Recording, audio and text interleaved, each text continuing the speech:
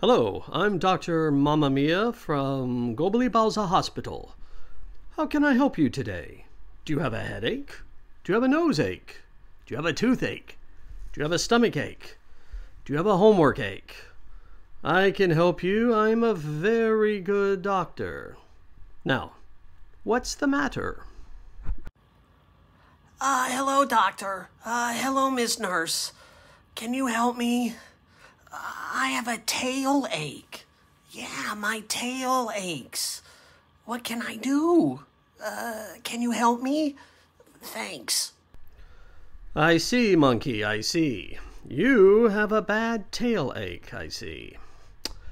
Take this watermelon and call me tomorrow. You'll be okay. Have a nice day.